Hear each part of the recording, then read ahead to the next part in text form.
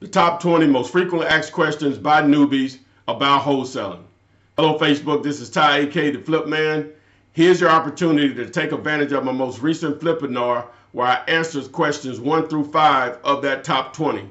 So please enjoy the video. Please like it, share it. Let's get it.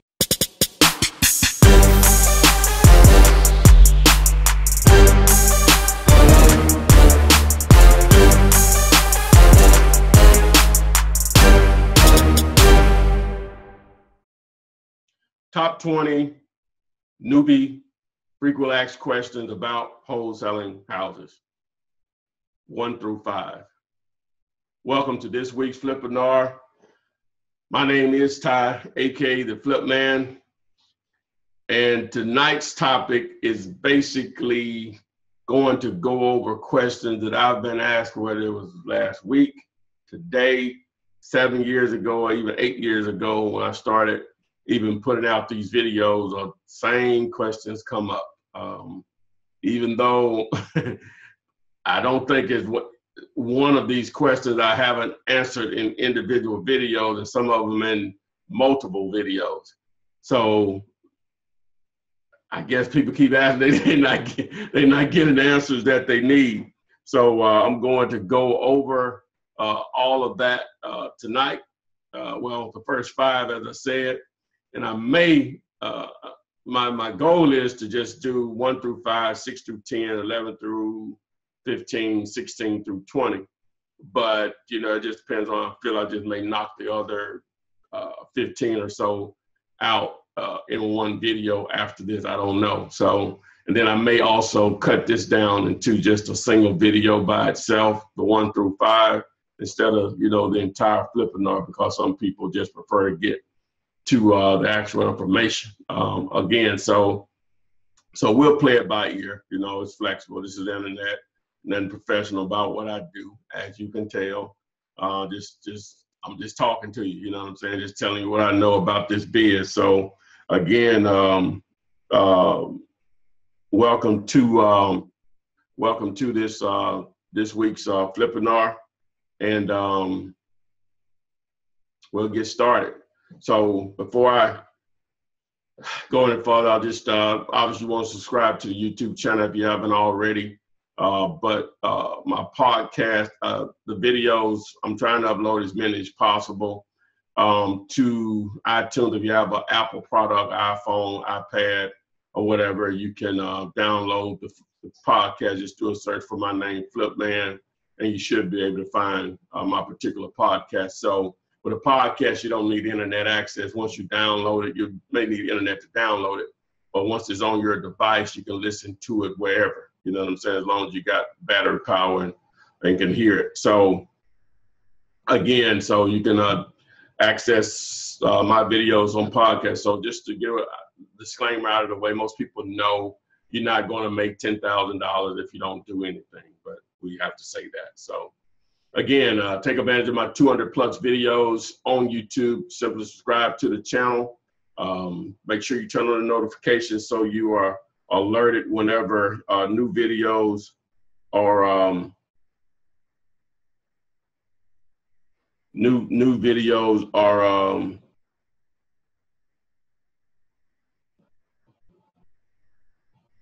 yeah, I'm gonna have to put somebody in time out here. They're trying to promote something on my stuff. It's cool, but you know what I'm saying? Don't, you know, let's be real about this. I'm looking in the chat. Somebody asked me they want to make a thousand or two thousand dollars a week. You know, come on now. But uh anyway, so um so uh uh they got me off track there. So you can follow me on Instagram, follow me on um on Twitter. You see the handles there. And again, subscribe to the YouTube channel. You want a copy of the free contract that I've used for 14 plus years. People, students, non-students have used it all over the country. Just a simple one-page contract to get the job done on most single-family properties. Text the word contract to 313131. Don't text me, text the word contract uh, to that number. No area code is needed, just those six digits, 313131. All right, uh, training. Uh, if you want me to come to your city, hey, uh, just landed. that is available. If you want that option, you can call or text me about the freight. The fee, what it costs.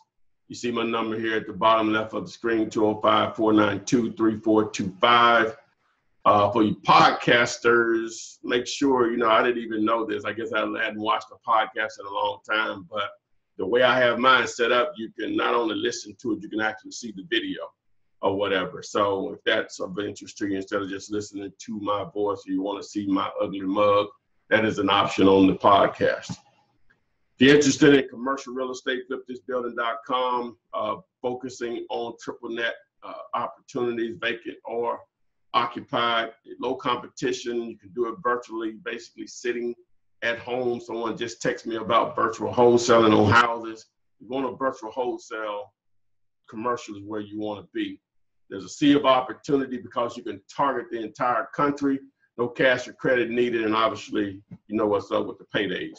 My goal here tonight is, is whether you know everything about real estate or you don't know anything about it. My goal here tonight is to introduce you to the wonderful world of wholesaling, houses mainly, but you can say real estate in general. So, what is wholesaling houses? It's a form of flipping houses, except the time frame is much shorter and no repairs are made to the house before the property is purchased. A wholesaler enters a purchase and sales agreement with a seller and then assigns the contract to a cash buyer for a hefty assignment fee. Here's an actual example. See the house here to the right. Obviously, it appears to be distressed just from the lawn or lack of lawn care. In this example, we're going to assume that this house in excellent condition would appraise for $100,000. Okay, so for whatever reason, we can get this house under contract with the actual owner, the seller of this property, for $30,000. So what would be a reason? You know, divorce, loss of job, uh, medical bills, tired of being a landlord, relocation, kid going off to college, um, bad business deal, too many repairs. It can go on and on on why someone would be motivated to sell uh, this property at 30. Now they couldn't sell it at 100 because it's not in a condition to sell at 100. But anyway, so they're going to sell it at 30. So that's contract A. So once you have it under contract, you market the property. Whether you have buyers or you don't, you market the property at $45,000. One buyer steps forward, saying, hey, I can't, after they've taken a look at the video that you should have recorded and uploaded to YouTube, sent it out, sent a text or emailed out the link to uh, interested buyers this one buyer, he goes out to take a look at the property and he steps forward and says, Hey, I can't do 45. Will you accept 41? My answer is going to be yes, because I'm going to get the difference between contract A with the seller and con and the uh, the difference with contract B with the buyer. So the seller gets that thirty thousand dollars at closing. You get yours, which is eleven thousand dollars, and the buyer takes possession of the house boom, there's your deal, $11,000 uh, assignment fee. So Yaska says, this something that you should be doing. Well, uh, here are a couple of examples. Here's a Dallas student, a most recent video that I released Monday morning that uh, you can still take advantage of and view if you want to. Um, he gave, I had to ask him because we didn't mention it during the um, uh, during the actual interview on what he did as as earnest money. He told me he gave him a dollar. Uh, but uh, long story short, he ended up making eleven thousand dollars. Well, actually, made ten thousand. Gave the uh, bird dog or the other wholesaler that referred the deal to him a thousand dollars for the referral. We're just going to base it on the eleven thousand dollar transaction. If you just base that on return on investment with a one dollar uh, basically investment and eleven thousand dollar return, the it, the ROI, the return on investment, is over a million percent. Uh, one million percent. That's obviously mind-boggling. Here's another example. Uh, this is a California uh, YouTube subscriber. He's not an actual student. Uh, he gave him a, a ten dollar earnest money deposit, and uh, the total transaction was twenty one thousand five hundred that he made. He had to split that with a partner, but the total deal was twenty one five that which was their assignment fee. Their return on investment, their ROI was over 200,000%. Another example here, which all of these you can watch these videos, just going back, you can you see the title here. All you have to do is just do a search for that. You see the title here. All you have to do is just do a search for that. Okay, and then we have a man here, Vic, in Baltimore, which was a student, $1 EMD, earnest money deposit, and a $32,000 payday with a ROI of over 3 million percent. So do you just ask yourself, is this something you should be doing? Well, just to tell you a little bit about me, who I am, uh, this your first introduction. For you old heads, you know, go ahead and uh, bear with me. But I feel I have to go through this because a lot of times people find these videos and this is their first introduction to me. So I just like to tell my story because I don't think that I'm nothing special. I've just taken action on some very old information. So here is how it went for me. I'm an entrepreneur first. I like to preface that. Real estate is just one of a couple of ways I've ever made any significant amount of money. So I'm not one of these one, but I'm an entrepreneur, but I'm not, I didn't just was born I'm a born entrepreneur. I was someone that it came along late for me. So at seven, eight, nine years old, I didn't care about that. As a teenager, I didn't care anything about that. Didn't even know about owning your own business was. A, you know, a country boy walking around barefooted in a small town in South Alabama. All the thing we cared about was basketball and chasing and chasing girls. So fast forward to college, um, I'm not even sure what uh, interested made me interested in entrepreneurship. I'm not sure. Um, I'm just not sure. Just the light went off some kind of way. I'm not sure. It probably was a combination of things. But anyway, the first one of the first and most significant things that I tried to do was I had the brilliant idea that I would take some of my student loan money and start a, uh, a used car dealership and become a millionaire and have a story to tell. Well, uh, I got a license, a dealer's license, and um, started going to actual dealers auctions. What you should know, if you don't know about that business, if you're not mechanically inclined, inclined or you have someone that is, you will get, you will lose money. Let me just say that. I was gonna say something there, but you, you're gonna lose money. That was me. I lasted about a year. I basically broke even on all the cars. That's what kept me going that long. Uh, I don't think I ever really lost any money of any significance, but I wasn't making any either. You know, so, but I finally realized what my issue was. I really knew what it was, but I thought I could still uh, basically get lucky. But anyway, long story short, I was out of that. So fast forward to 1995 and uh, went to Daytona Beach uh, Black uh, Spring Break Weekend or whatever it was called or whatever it is called. And my brother, uh, two of my cousins, and one of my brother's close friend, closest friends, we all loaded up in a Camry and we drove from Mobile, Alabama to Daytona Beach. And uh, one of my brother's friends from date uh, from uh, Orlando uh, drove up to meet us. And uh, he was discussing what he did for a living. And he had a mobile car wash business where he basically uh, went on site to wash people's cars. So i thought it was brilliant. A genius in fact. And so i couldn't wait to get back to birmingham. So i invested in a, uh, a baby blue uh, passenger van that where the seats had been taken out bought a 100 gallon water tank and a pressure washer along with a promotional sign whenever we were on location and we were I was in business.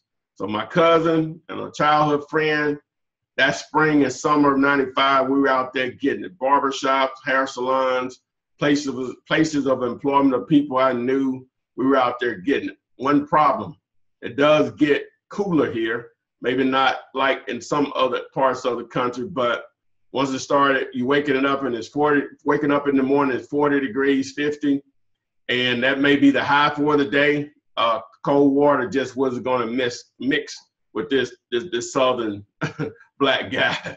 So I was out of that business. So you know, it is what it is. I I, I know when to fold my tent.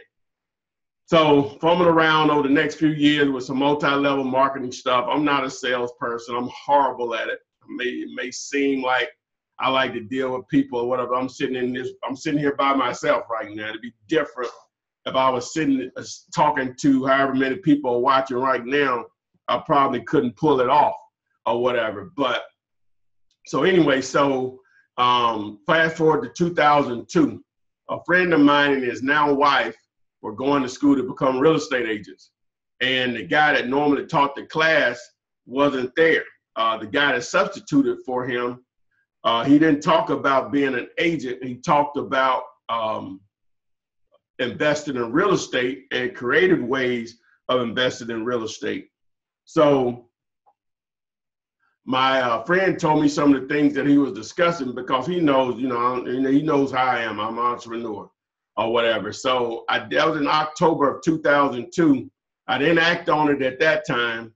So fast forward to December, actually 27th, a couple of days after Christmas, I was at my mom's house and I was up early that morning waiting on her to prepare uh, breakfast, my favorite, syrup biscuits. I don't even have to have meat with it, you know, especially, you know, even back then or even now. But um, that was my, that is my favorite. But so while waiting on her, watching TV and up really early. So back then, Carleton Sheets uh, was still in rotation as an infomercial. Carleton Sheets No Money Down program. So I caught one of the uh, infomercials about halfway through it, and I had seen them over the years. And it's not like they actually give you information that w- would be useful, just all promotional. Carleton may help me make this much money. Carleton help me make this much money. So it's not telling you anything. And so uh, I just went up the dial because my friend had, you know, mentioned some of the stuff from a couple of months earlier and, and watched it from beginning to end. Again, it don't it doesn't tell you anything. It's just all promo stuff. You know, I made this much money. That. Yeah, how you made the money, but how did you make the money?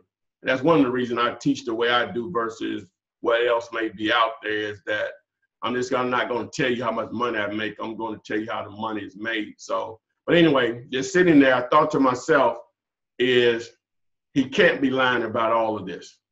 So back then, my mom didn't have internet, so I waited till I got back to Birmingham, and I did a search on this um, uh, message board, this entrepreneur message board I used to frequent, and asked the question, does Carleton Sheets program really work? And only one person replied, yes, it does, which just changed my life financially. Yes, it does, but Ron LeGrand's course is better. So I did a search for Ron's course and I saw it was for fifteen hundred dollars back then. That was what, 15 years ago. And wow, I you know, it I barely made more than that in a month, you know, on the job that I had at that time. So what they had on the site was a condensed version of it for um for $69.99, 80 bucks, which like $80 with shipping.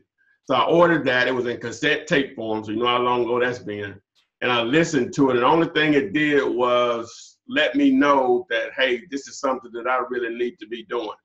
Um, it, it, was just a teaser, a lot of teasers. So I made up my mind, in my mind, if I had to get a second job, I would, and uh, to save that fifteen hundred dollars for the full course.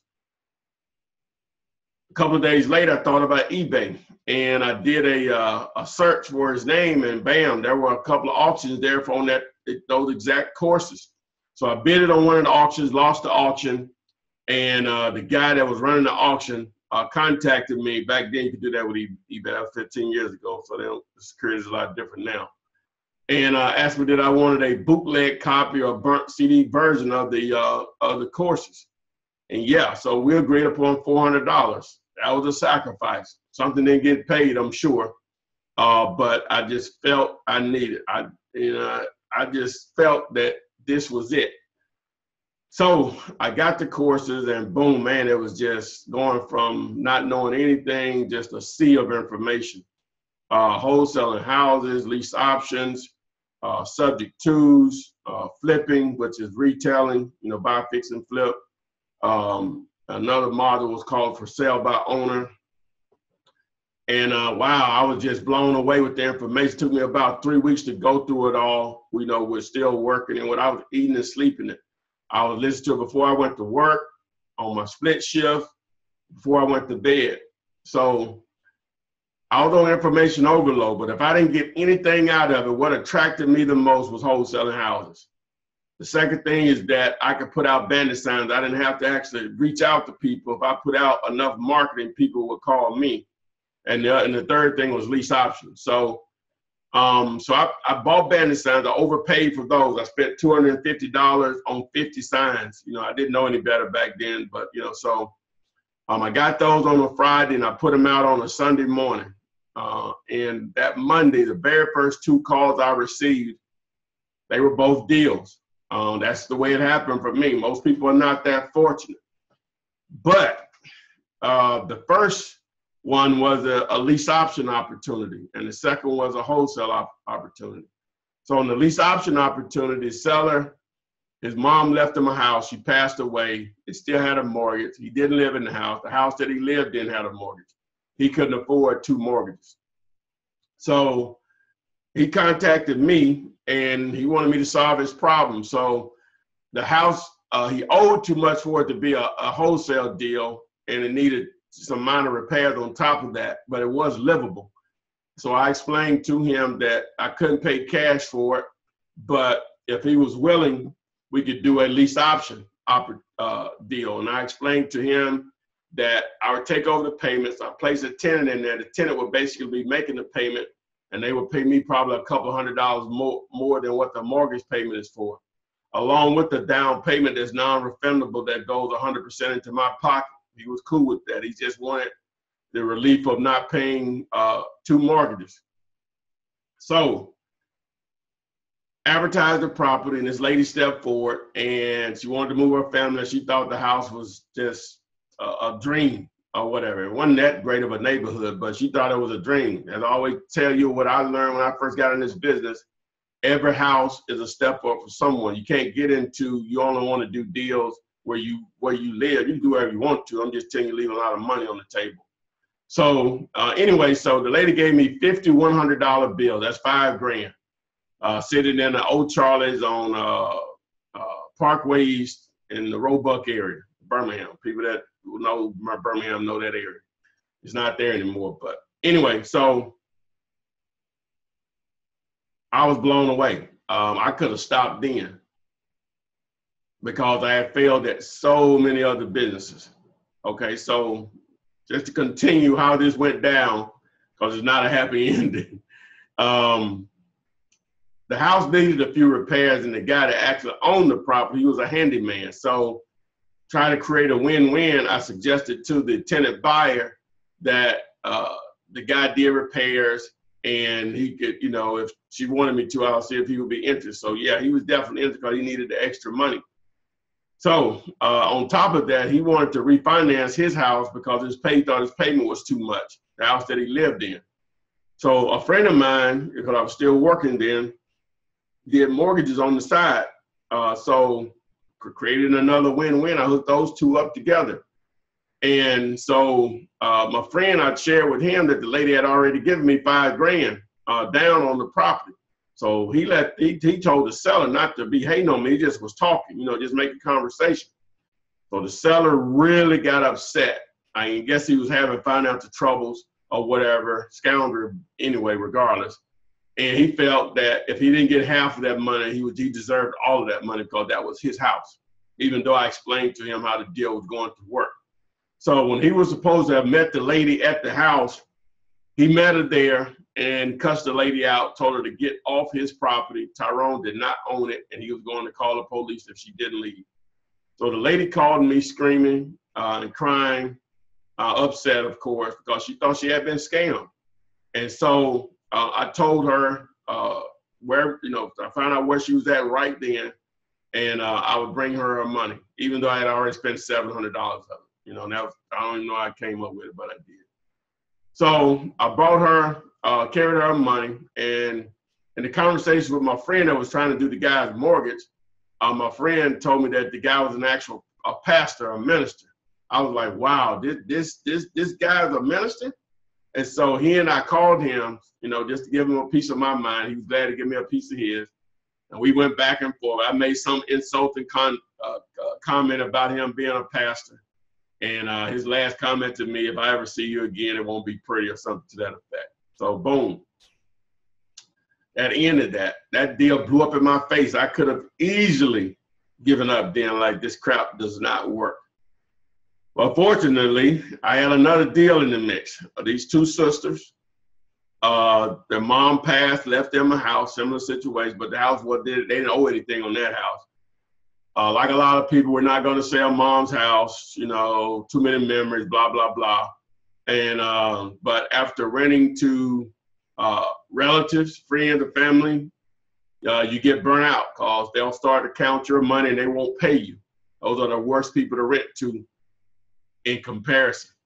Uh, so they were ready and they were motivated. That's why I, I encourage my students and non-students to, if you don't have money to invest in uh, bandit signs uh, and or direct mail or uh, internet marketing or whatever as far as social media, then you need to be targeting landlords because a lot of those people are very motivated. That's going to be, once you get your marketing in play, that's going to be your number one. And all the different reasons people be motivated to sell, tired landlords is going to probably be number one. Okay, so anyway, so uh, we agreed upon twenty thousand dollars. I'm not even sure how I knew that was a great deal, but that's the price that we agreed upon. And so um, I met them, uh, went to their house, and I got something. I got something for you guys this week. Boom! Somebody sent me this. I showed up in my 1985 Toyota Celica convertible. This was in 2003, so this was an 18-year-old car. The roof leaked because you didn't know that unless you were riding with me when it was raining. And uh, they actually thought I had the money with me. You know what I'm saying? I guess, I sounded like I had money. I didn't look like it. I probably still don't look like it. uh, but this is what I showed up.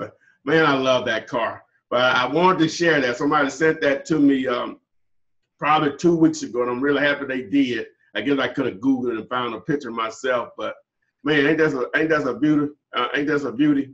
But anyway, so um, showed up in my '85 Celica convertible, and uh, uh, they actually thought I had the money with them. So I explained to them doesn't work that way. So anyway, we put it in the contract. I advertised the property. A realtor called me, said he had a, a client that buys in that area. I explained to him that I was a wholesaler, which was a rookie mistake um, to the realtor anyway. And so he said, yeah, he'll pay 25 for it, but I need to get half of that. You know, half of that 5,000 you're going to make. So I agreed to it. Uh, pigs get fed, hogs get slaughtered. Don't be greedy. So anyway, so I met them in a uh, shopping center parking lot. They gave me a $500 earnest money. 10 days later, we closed the deal. Boom, the seller was happy that I made money on this deal. Taylor, what did you get? Just, just happy that I made money, solved their problem. So that was my first deal, 2,500 bucks. Uh, as you can tell, I'm no smarter than you are. Where I live is no better. Only, may, only thing that may be different outside of my 1985 Toyota Celica here is that I took action, right? Uh, I just taken some very old information and put it into and put it into motion. So, as many of you all know, the hard way, most of us we think we need a lot of money to start. That that's always that prevented me from even being interested in um, um, uh, in real estate. And uh, thinking uh, you need a real estate license, waiting to hear uh, that you waiting till you figure it all out. Wasting uh, a lot of people are readers. I'm not, but from what I understand, there are very few books. I don't even know of a book that I could recommend that's going to give you everything from A to Z. Most of them are just upsells. Not hating. It is what it is. Uh, a lot of people are tired of uh, their job, don't like what they do. Um, I didn't hate my job. I just knew it wouldn't provide me what I wanted uh, taking a pointless business class. I went to college. Uh, I wouldn't give anything for it, uh, but uh, I don't think it benefit me as far as being able to provide the living that I wanted. But it may have been more on me than college, but I think it's more college. Going to seminars, um, I get at least two, three calls a week or text messages of people saying, hey, I just left a seminar and I did some research and found you. but they've already spent money. So when they get to me, they may want me to do something where they don't spend money. I, but I had that option. those 200 plus free videos. But if you're going to deal directly with me, then yeah, that's going to be some freight there. So uh, I've been thinking about doing a video on uh, what you should look out for when you when you go to seminars, what you, you should be looking for, or what you should be paying for, in my opinion. Anyway, so uh, I don't know if I'll do that, but anyway. So uh, and then information overload as I mentioned before. So uh, all of us have experienced these things, so we're going to go ahead and get into why you're here. Top, to, uh, top 20 frequently asked questions by newbies about wholesaling houses. I should have titled this a little differently. It should have been the top 20, the, the, the, the top 20 most frequently asked questions by newbies about wholesaling houses. That's what it should have been. Top 20 most frequently asked questions by newbies about wholesaling houses. I'm only going to do one through five tonight, as I mentioned. And then I'll make a decision if I'll do, you know, just four weeks of this or whatever, but I'm not sure. So we'll see. You know, I, I don't want to lock myself into this. So I'll let you guys help me determine that if you uh, find this to, be useful. Okay, so let's go ahead and get into it. All right. Um, question number one, I think I've already answered it, but I'll try to break it down a little more. Um, I try to, well, I can only explain stuff the way I understand it, so hopefully it comes across uh, clear and simple. But uh, what is wholesaling houses or real estate? Basically what you're doing is understanding the power of a purchase and sales agreement, a contract. All real estate transactions start with that.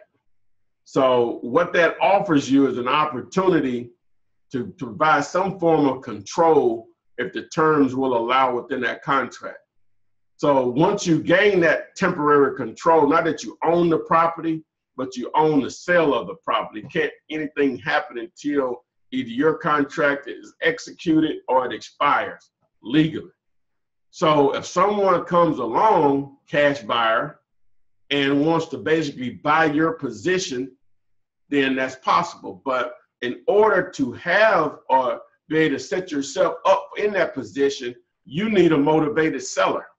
And that's someone that wants to sell at a significant discount based on repairs what you would like to make and what the house will obviously appraise for in excellent condition. So you need the contract, a motivated seller, and then a cash buyer. That produces a wholesale transaction. That can be on houses, that can be on land, that can be on commercial. Now, commercial, you don't need a cash buyer, lending can be involved. It's not as complicated as it is with single family because with single family, you get HUD involved and they try to protect, protect the consumer, whereas commercial is normal B2B, you know, by, uh, business to business. So you don't get the feds so much involved in how the transaction or how the lending is, uh, is performed. So that's what is wholesaling. It's basically understanding, taking a contract, controlling it long enough as for the sale of it and someone basically buying you or, or buying you buying your position within the deal that's a cash buyer and that's done either through an assignment of contract or a double close which assignments is my preference. All right number two is wholesaling houses illegal?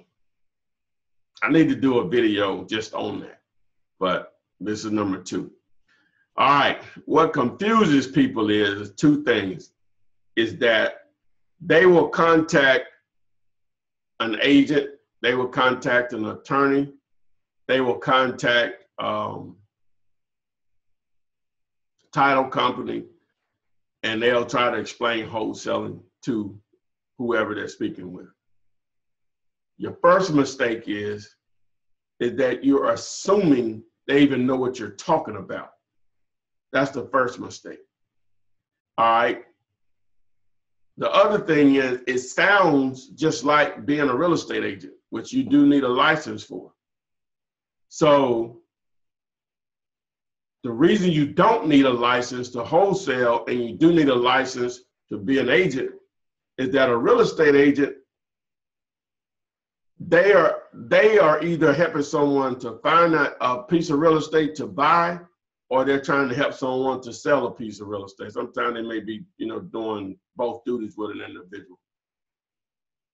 Therefore they don't have an actual purchase and sales agreement on the property. They're acting as an agent for that individual or rep, they're representing that seller or buyer. That's why they need a license.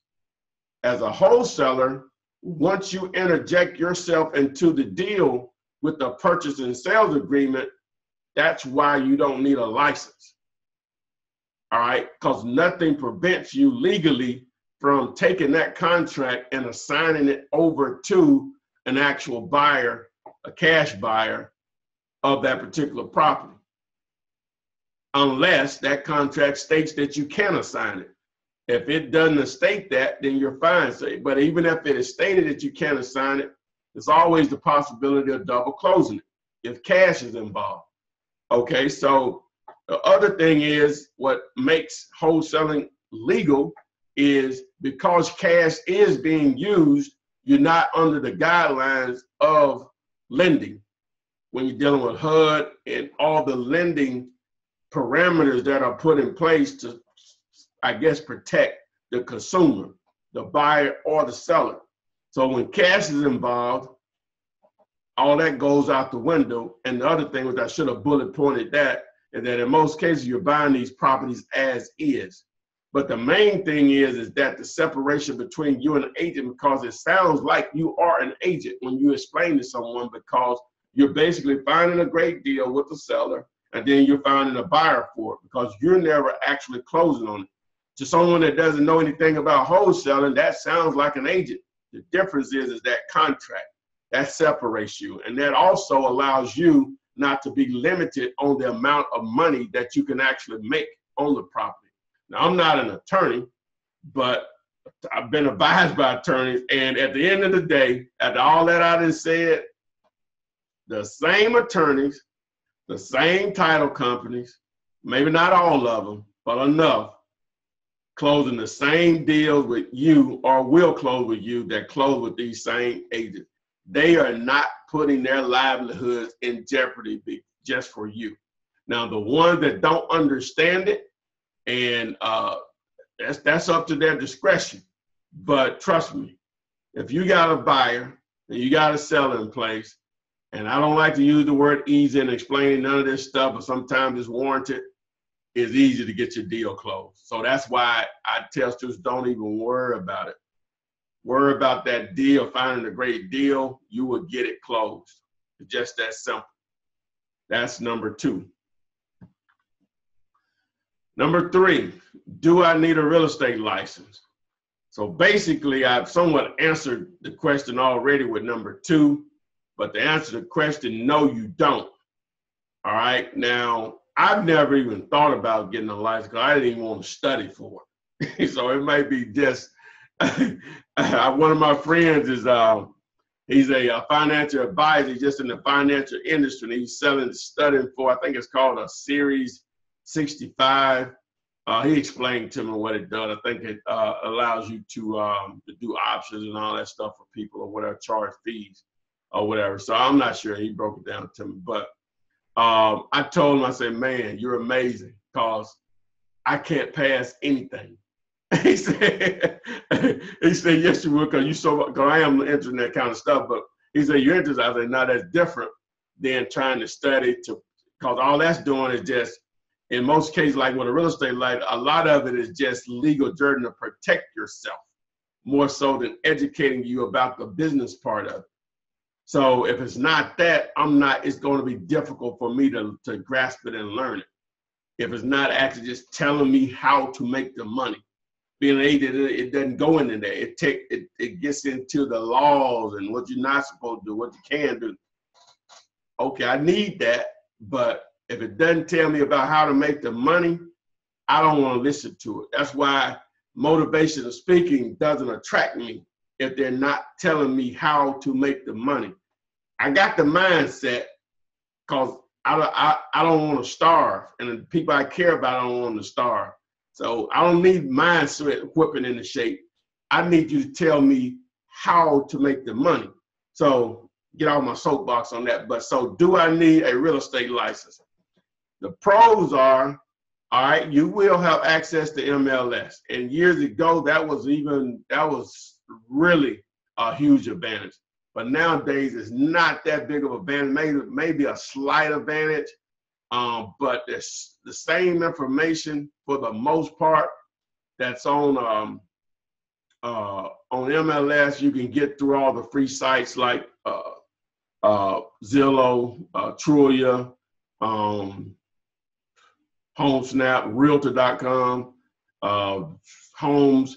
Now, uh, now obviously uh, MLS can give you that CMA, but it's, it's still just so much free information out there that you can do your business without having you know having that access. So if that's the pro of having access to MLS, if that's worth you going through all that or whatever, then so be it. I'm just telling you, don't need it to run your business. You know, this is not brain surgery. So that's really the only pro that I see. I guess the other pro could be, I guess this could be a pro. Uh, I'm just being real. Uh, is that properties that would normally be a deal um, for you as a wholesale transaction, you could transition those into listings. But I'm not sure how that works legal because I don't think you can advertise like that. We buy houses and then transition. So I'm not sure about the legalities of that, but I guess it could be done a different way or whatever. Even if you just uh, you you were working with a team or something. So I, I don't know, how that works. So I would assume you could transition in some kind of way within the parameters of, of your license. All right, so those are the pro, pros. Now the cons are, if, if let me just say this because I, I, I, don't want to seem like I'm hating on this, but I just don't think you need it. You know, you can get it if you want to, but as for the need, no. Uh, but the cons are obviously you have to disclose that you're a realtor on any transactions you do. A, a lot of agents think they can't even do their own personal investing. That's how it works. Or the brokers have their minds, or yeah, you can buy your own houses. They can't prevent you from buying your own house. You just have to disclose you're an agent. You know, and that's wholesaling. They just have to disclose that you are with the seller. That's it you know, you can do your own investing. They, they, they can't lock you into that, that everything you do, they make money off of. If you do a listing, then yeah, they, the broker, is, you signed up to give him a share of your money. Oh, I forgot, you know, so, um, but they can't block that. So, and then, um, you know, being an agent, unless you're a broker, it's a form of pimping in my mind. in my mind, I, I you know, um, everything you do, they're gonna take a share of it. You know, so I, I I'll share, but I don't want you to be locked on. Just I'm putting in the effort, but you're getting a piece of it regardless. I that don't that doesn't sit well with me. You know what I'm saying? So, uh, so that's one of the other cons. Um, and the the displaying that you're an agent all the time, I think that's a con. Also, um, one of the negatives. I'm saying con, but one of the negatives. Um, what else? Uh, obviously the, the, the classes and going through all that stuff. That's just me, you know. Some people they love to study and all this stuff. I, I can't stand it. Um, but um, so so, so, but to answer your question on it, do I need a real? I'm rambling now. Do I need a real estate license? No, you don't. You know, if you want one, fine. But to answer the question, no, you do not need a license to wholesale house. All right, I think I got all the plates here. All right, so number four. All right, um, should I have a list of buyers first? All right, uh, obviously this is a huge debate. You know, both work. You can build a list first if you want to before you get started. Uh, I was taught, and I teach it this way, and and and and, when, and I know I'm a, I'm a very receptive and I understand, but I I get I get probably once a month, maybe not even that much, maybe once every couple of months. And I can tell somebody's been to a seminar and they told me to build a buyer list and they'll call someone, and you can tell that they're reading the script. And so I'll just cut them, you know, I say, hey, man, I said, I, I understand what you're going through. I said, but um, I, I'm, I don't want to go through these questions. If you got a deal, just send it to me. You know, I just go in and cut them off, but nicely. You ain't gonna get that from everybody. So I, I try to prevent when I teach them, when I'm teaching my students, I try I try to do that. I don't know if I'm successful always. Is to try to prevent you from being discouraged in stuff that you do, because you can call. That's like when you call in title company agents and uh, uh, uh, attorneys and asking these questions. They can be so discouraging, even with cash buyers. If you don't have anything to offer them, they, you know, some of them will be receptive because they're similar to me. They just don't want to handle people like that. But then you can get this dude that's a real a-hole on the phone and he don't want to talk. He doesn't want to touch because you don't have anything to offer them.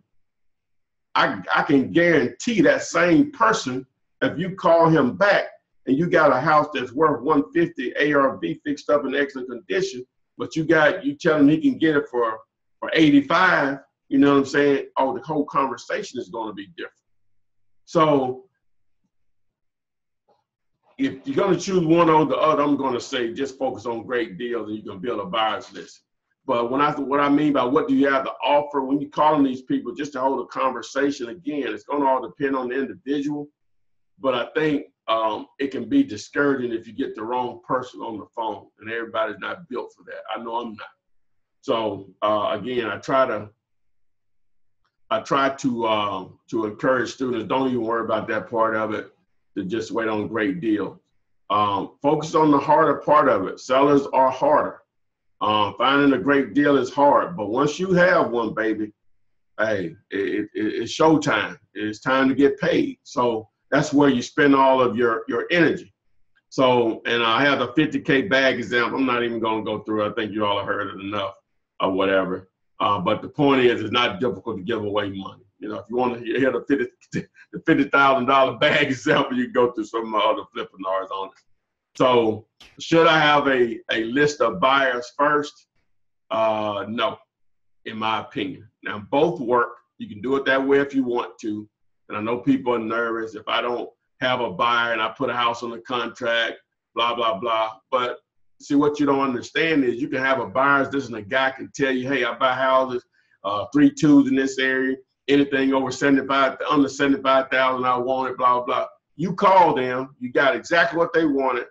Ah, this is not a good time for me right now, blah, blah. I got 10 hours, I can't move. You know, so so now what? You're still in the same position that you thought you were not, you, you were going to be in uh, because you didn't so-called have a buyer ready to go. Now, buyers, this is important, but you always want to and negotiate your deals just like you do not have a buyer because you don't want to be dependent on a list you don't want to be definitely dependent on one buyer.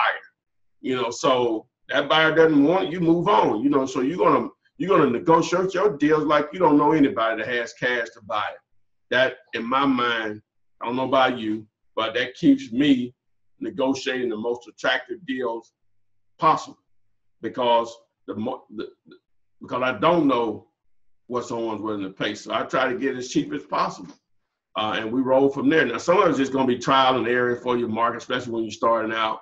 You know, there's no way to know. So anyway, so boom. Should I have a list of buyers first? No. That's question number four. All right.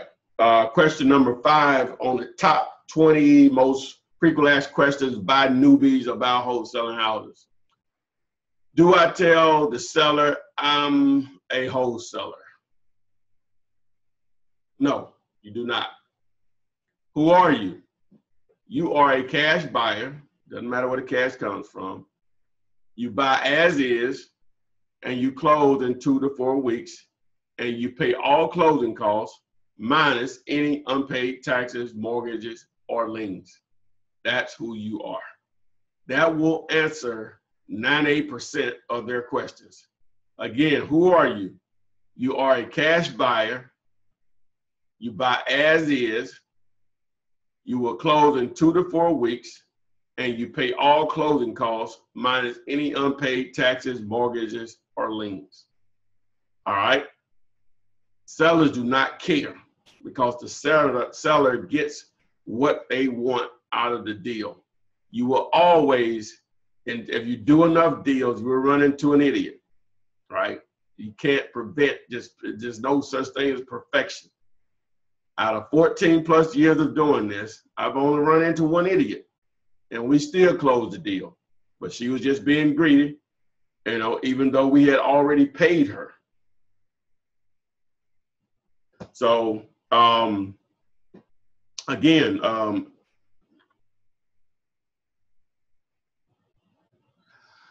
So um, every and then the most the most uh, important thing is that everyone's happy on closing day. If you're having trouble viewing me, please let me know. Uh, I can see it here on my screen. I'm good on my uh, iPad or whatever. So, but again, so um, there you go. Do I tell the seller I'm a wholesaler? No, you do not. It's not important. And the other thing like, I'm I'm glad I already read that is that just like you're trying to learn wholesaling, you probably have spent hours trying to do so.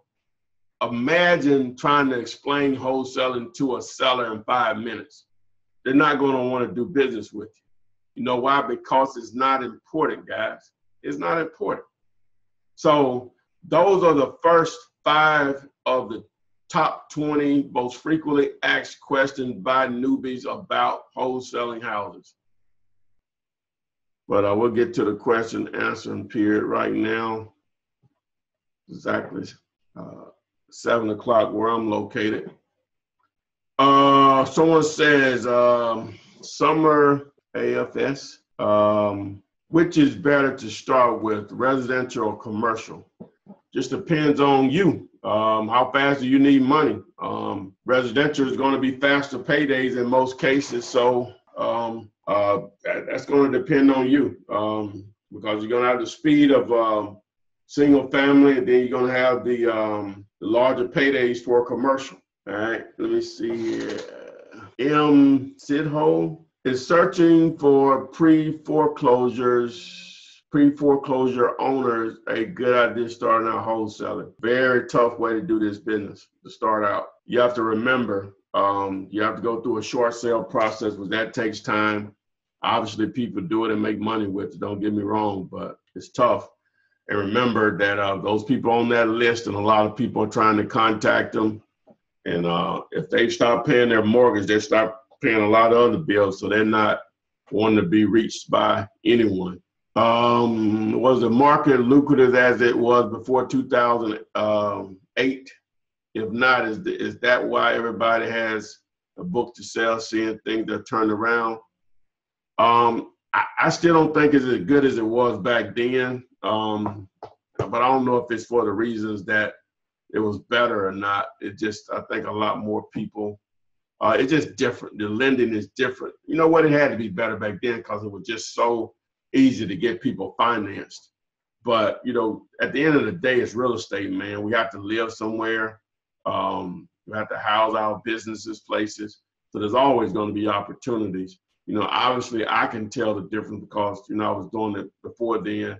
But someone just starting out, you you wouldn't know the difference. And, and, and at the end of the day, it really doesn't matter. It's still money to be made. You know, just gonna always be money to be made. You just have to adjust with the times. Uh, Summer AFS says, um, okay, Eric is the name. Summer was the name of the my. Okay. All right. Uh, uh, typical time for a commercial start to finish. It, will vary, man, but um, easily 60 to 120 days could even be longer. Obviously, any deal can close in a short time frame, but on average, you know, it, it, it takes time. Jim Tim said, I see vacant commercial uh, building for sale. How do you run numbers on it? Uh, depending on what type of building it is, man.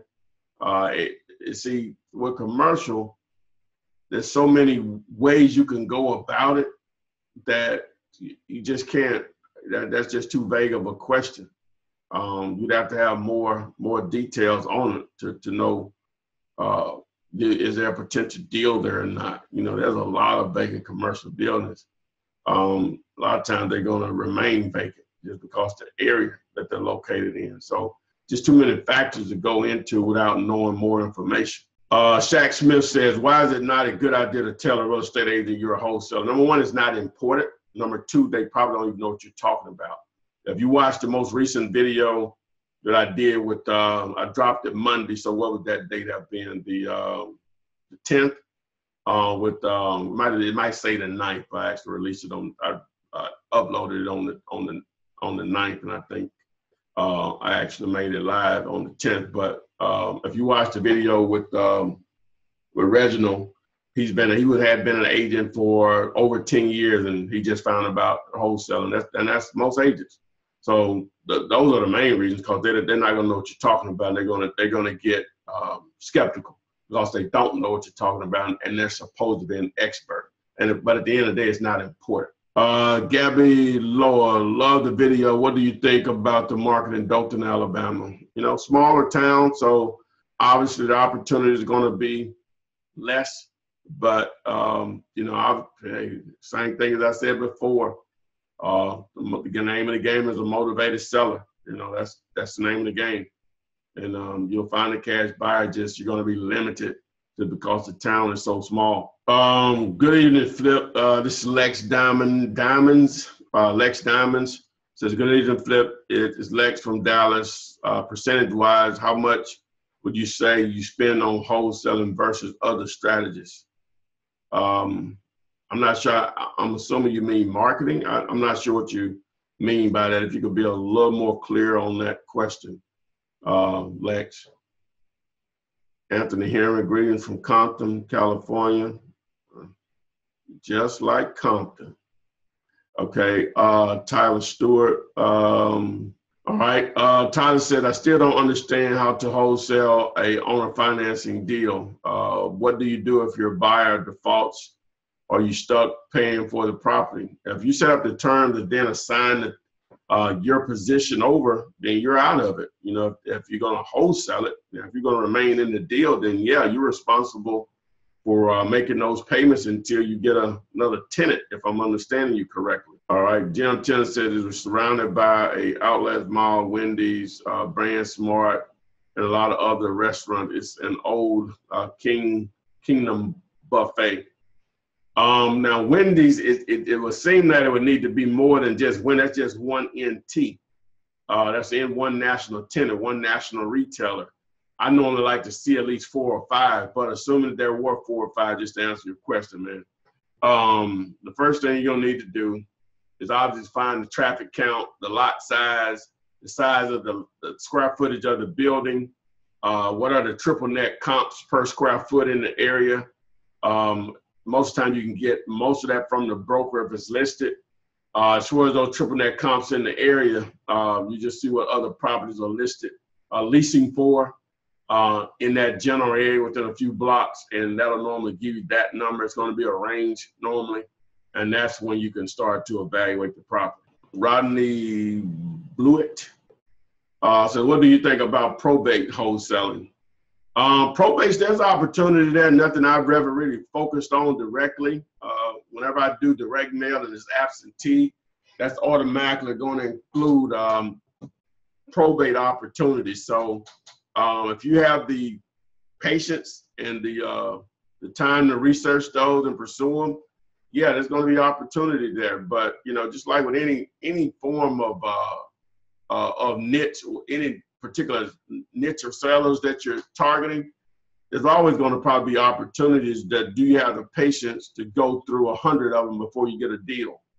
You know, that's that's the question you always have to answer yourself: is that uh, do you have that type of patience to do that? You know, and now the first one that you look up may be a deal, but I like to try to give you like worst case. You know, and 100 may still not be worst case, but you know, normally most people can wrap their minds around that type of research. Maya Jeffries, Jeffrey, what if you can't get information from the counter on the vacant property? Do you, do you then deal with the title company? When you say information, do you mean like the owner's uh, name? Because the tax bill has to go somewhere. If the title company has that information, normally that information is available at the county. With that being said, um, some counties, uh, the way they have their information available to the public, and I think some states don't make it public like this. I don't think it's a few of them though. You just have to. Normally, it's online. Uh, if it isn't, and a lot of times those sites are not user friendly, so I would just go down there and just talk to someone until I speak to one. A lot of times those are uh, uh, public employee. What what do you call them when they work for us? uh, that we pay their salaries, whatever they're called. Uh, a lot of times they're not the most useful individuals. So some of it's just uh, luck of the draw. Am I getting someone that's going to be helpful? Uh, but that's where I would start and see if I can find out how to access that online so I don't have to go down there every time I research a property. A lot of times they can tell you exactly where to go because they prefer you not to come down there and uh, just go online. So they may be helpful in that sense. Uh, Elijah Kennedy says, what's a good site for mailing postcards? Uh, click to mail, I guess, would be a good one. Uh, Go Big Printing is another. Um, I don't do postcards. I don't do my direct mail that way, but just to answer your question, I don't teach it that way. But uh, Nicholas Loftus, what's the cheapest site for mail distribution of letters? I just answered that with the previous question. Uh, Johnson Boys says, what's the average percentage per deal? Percentage of what, Mr. Johnson Boys? Uh, T Hoke says, what do you charge for your class? Simply text or call me, uh, or you can just go to flipman.net. I hate to quote it on this video because it will be viewed two years from now, more than likely, or longer. And you know, I don't, you know, I don't like to put the prices out there because that stuff is going to change and actually going to change soon. So, um, so just just just text me, see what the current rate is, or you can go to the site. I normally keep that updated. Flipman.net. You see the handle in the background behind the uh, the, the website name. Mike in Atlanta. Uh, is wholesaling land the same as residential sales? It can be. Uh, two new stadiums are almost done being built in the A. So I think selling land would be good. Yes or no? Yeah. But man, that stuff, when you start talking about that kind of stuff, man, cats are so ahead of the game. That stuff's so political, you know, on that level. I I, I understand your your ambition, Mike, but it's so political on that level. That stuff is most of that land down by that stadium is already spoken for. Not discouraging. You might know you might know something. You know what I'm saying? And you can always try, but I'm just letting you know that that's a serious hustle there on a whole nother level. And a lot of it stuff that, you know, not above board. Uh, palms are being greased. you know what I'm saying? Just a lot of a lot of shades. And then a lot of times that stuff once it in a development area like that, um, it just, it, I, don't know, I, I don't know how to explain it to you, um, but um, I, I, know what you're thinking. Let me just say that. I know the, the opportunity is there, but, and I don't like to discourage people because I would love for you to come in and say, hey, man, you were right. Yeah, it is. It is political, but I knew this, and I and I put this property in the contract, and they had to come through me, and I made 350,000 on this deal, just on the wholesale deal. I would love for you to come back and be to tell us that. So, um, but yeah, obviously going to be opportunity there because that's obvious. The obvious, obvious development is going on there. So there's, there's tons of opportunity there. It's just a lot of time that stuff is so political. Who gets those deals on that level? You're talking about hundreds of million dollars, hundreds of millions of dollars, well, billions. Uh, when you start talking about developing stadiums and everything going associated around it. All right. Uh, Nia 8 said, if you get a house on a contract, do you turn the utilities on before selling to make sure everything's working? Yes or no, or why? Um, if you're wholesaling it, that, that's that's no concern of yours. That's up to your buyer. Normally, your buyers are seasoned, and they take that in consideration whenever they're making their offers. Is that hey, the utilities may be some issues with the plumbing, or the and or the electrical. So to answer your question, no, you don't. Um, not when you're wholesaling. Next downside says, I'm sorry, Flip, I meant by actually focusing on wholesale deals versus other real estate investing strategies, actual marketing, finding, closing, wholesale deals. Well, with commercial, it's really not, not any marketing going on. It's just putting in the time and the lead work, which I've been lacking here lately. Um, but um, that that's where it, uh, that that's where that's where it, um, it, it it's different it with with commercial is just all it's just putting the time in. That that's what it um uh that's what that's what it that's what it just boils down to. Whereas with houses, uh to for me it's just all about marketing. or whatever. That that makes it easier for me. Now, some people can just do the research and reach out to sellers uh, or property owners, and, and they can do it that way. That way. So, um, Rich says, um, "Can we talk offline?" Um, yeah, you can. You can call me. That's fine. Um, I'll put my number out there. Uh, Candace Hawkins says, "Hello, everyone. Hello to you, Candace. You can you can let us know where you where you're where you're coming from, where you are located, if you want to. But hello to you." uh, Jeffrey, I'm not sure what you're saying yes to. You're gonna have to repeat the question. So I got a little lost here. Um, what we got? Uh, Gabe Lowry. How do I get the contracts that are required for wholesaling? Gabe, I hope you've been watching this entire flipinar. If you haven't, I give away the contract that I use and it's worked all over the country. All you have to do is text the word contract to 313131 to get a copy of that contract. Um, Candace says, is your contract for double closings as well? It can be used for that. Yes, Candace. Uh, T. Hoke, uh, what site did you use for your signs? You, if you mean bandit signs, the company that I recommend because they give my students and non-students uh, a 5% discount is Dirt Cheap Signs. You don't want to go to the site and order. You only want to go to the site and get the phone number so you can call and speak to Curtis or Christina. Let them know that Ty referred you and boom. Again, you always want to do your own due diligence, but they that'll be a good price uh, matching point that you can use based on um, uh, their pricing. So um, yes, uh, uh, summer summer summer AFs, uh, civil employees. Yeah, they can be very helpful. A lot of them can be you better get out of my face. so yeah, but silver employee, that's that's the term I was looking for. All right. Uh, somebody said, what about a bank-owned property? Is that worth pursuing? Um, well, yeah, you can do it. It's just it's just a different process because a bank is not going to allow an assignment. In reality, you're either going to have to have the, the, the, the, funds, whether temporarily or whatever, you basically have to be able to buy the property first. So that eliminates wholesaling. Now, if you got a, the right type of buyer and they just want you to go out there and find a deal and they pay you, bam, you, are good. I call them lazy buyers. You know, those are not that um, easy to find. So, um, but yeah, it can be done, but it's just a different process because who who has ownership of it. All right. Uh, Jeffrey says, thank you. No problem. All right. Uh,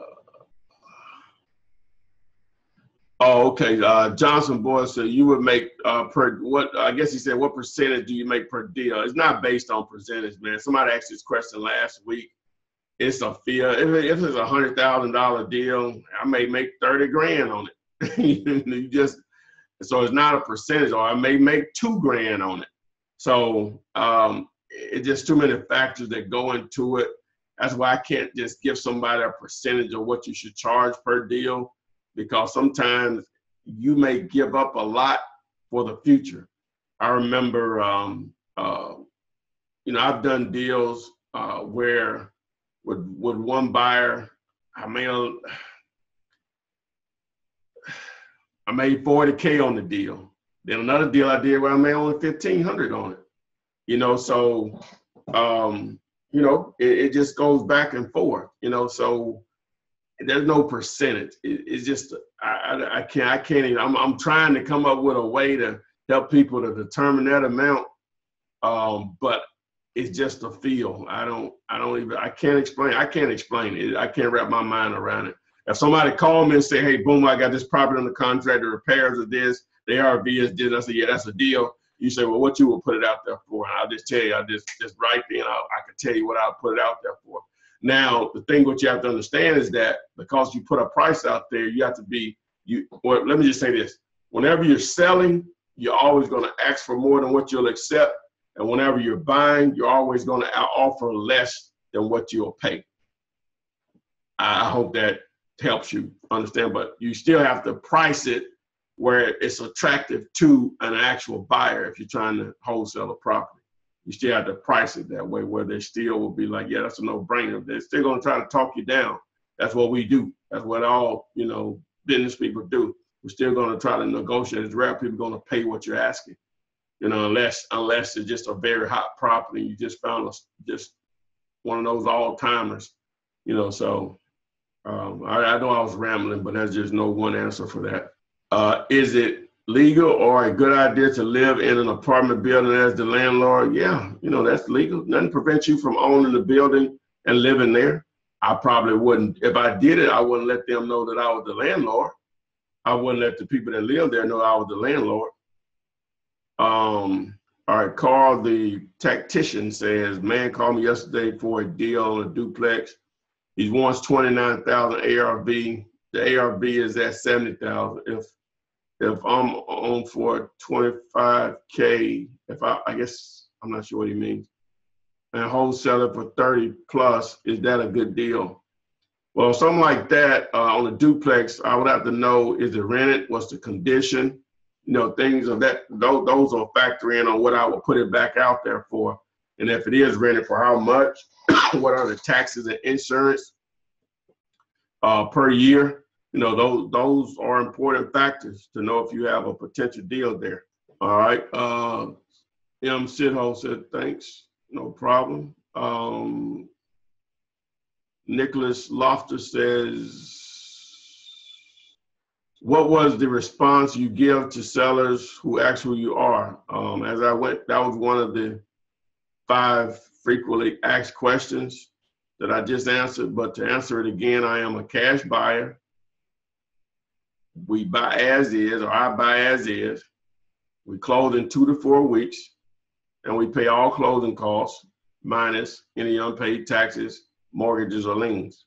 All right. Uh, Lex Diamond says again, um, what is your approach on a seller who needs to sell quick but has very little equity? Is there a way for me to profit on that what would you offer? Wait a minute. A lease option or pass on it. Um, if it's if it's an attractive property in a nice neighborhood, uh, yeah, that's a lease option opportunity there. You know, if you want to pursue those, um, most definitely. If the house is in you know good shape and it's in a, an attractive neighborhood, desirable neighborhood, yeah, that's an opportunity there. Um, Danley says, do you have the apartment deal still? Nothing is available right now. Uh, Summer AFS says, are there any tax benefits that come in with investing in real estate? Uh, yeah, there can be. Um, it, that's, yeah, but yeah, it could be tax benefits. The main tax benefit is I want to make as much money as I could possibly make. People say, you got to pay taxes on that? Of course you do. It's income you know, but would you rather pay taxes on zero or a couple hundred thousand dollars? All right. Um, Anthony Steiner, when I say zero, you didn't make anything. That's what I mean. I was going to pay zero taxes, but you know what I mean? You, you didn't make anything, zero, versus I made $200,000 and I had to pay X percentage of that. You know, that's, that's an easy answer for me. Um, but I know what you mean, tax benefits that more comes into holding properties, what you may get off the interest, depreciation, you know, but seek out a CPA on that side of it. That, but that's more when you're holding on to properties. Um, ownership. Uh, Anthony says, "Hey Flip, do you suggest I get an LLC before I start the business? Um, it's not needed to start. At some point, you need to. If you're on a limited budget, put that on the back burner. All right, I'm about to round this up. I'm gonna answer a couple more guys. I really appreciate everyone that, has showed up so far. Um, do you always use YouTube videos to show your buyers? Always. If they always. It's, it's free. It's simple technology. It's free. Yes, always. And I've been doing that for years. Neil says just to make sure the utilities work. Yeah, again, Neil, that that that's up to your buyer. Um, if you're trying to buy it yourself, obviously you want to do that or whatever if you're not seasoned. But again, they take that into consideration whenever they make their offers that nothing is working. Um, it's just a bonus. So, all right, um, answer a couple of more here. Try to round it up in an hour and thirty. Um, Amina Lowry says, "Hey, Mr. Ty, do the banks have any say so over whether a seller can contract the house over to someone else?" I'm not sure what you mean. They can't. Pre- I'm assuming you mean can they prevent you from selling it? No, as long so they don't care. They, they, they don't own the house. They just have a lien for the mortgage. Um, if if they as long as they're paid, see the house can't be sold without them being paid off first. You know, and that's done at the closing table with the title company or closing attorney. You know, but that mortgage doesn't prevent a deal from happening if the numbers work. If the mortgage is less than the price that you need to do the deal with. So to answer your question, no, they can't prevent that. Rich always said, how often do you run across commercial deals? Um, I, at least once a month you know, I'm working on a lot of stuff, you know, but does it come to fruition? it is the thing that it's, it's, a, it's a different animal, man. But again, it doesn't cost you any money, it's just time. Teresa B.